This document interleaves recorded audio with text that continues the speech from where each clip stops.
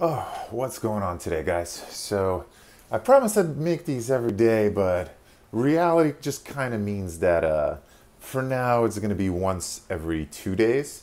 I figure I'd have a whole bunch of free time with uh, working from home, but uh, I just kind of dive into my work. I get distracted by by the news. I've been reading a lot of news, and um, yeah, still uh, want to try to make as many of these as I can.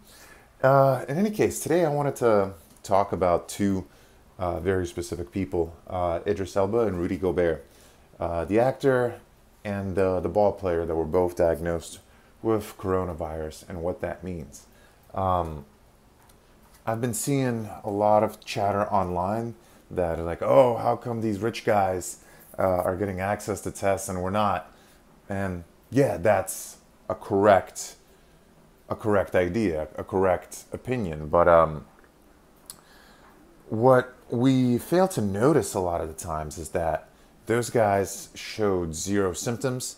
Um, those guys seem to be in perfect health but uh, they had the resources to get tested and they did and they turned out to be positive so what does that mean that means that a lot of people um, are probably already infected with the coronavirus so if just because you're young just because you're healthy just because you know you, you've been working out doesn't mean you don't have it so if you have any older relatives or know any, any vulnerable people, no matter how crazy um, uh, your, your life is, uh, just avoid them for now.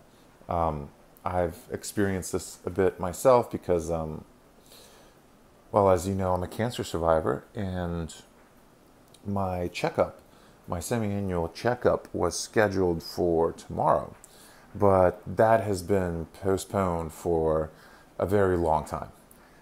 Um, and I completely agree with it. I've uh, been without any symptoms for the last, uh, well, al- almost five years. And, you know, because I've traveled extensively before Saturday, it would be a very bad idea to put me in, uh, well, in a cancer center. Uh, if you've never been in one of those places, it's where a lot of the weakest and most vulnerable people are. So they really must be protected at all costs. So, especially if you're in a large uh, urban area, just assume that you've already been exposed. I know it's a tough thing to hear, but um, we'll, we will all 100% get through this. So, what else? Uh, New York has been kind of feeling the, the the the vibe, so to speak. I um, follow this guy on Twitter, uh, Paul Skallas, aka the Lindy Man.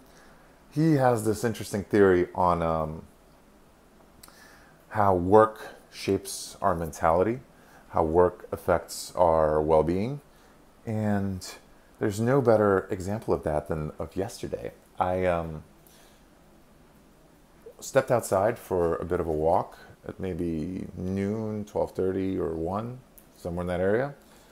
And grocery stores were empty and um, the gym was empty. And around 5 o'clock, 5.30, uh, 6-ish, I did the same exact thing. And both of these places are full. Even though we... Uh, a, a lot of us are working from home.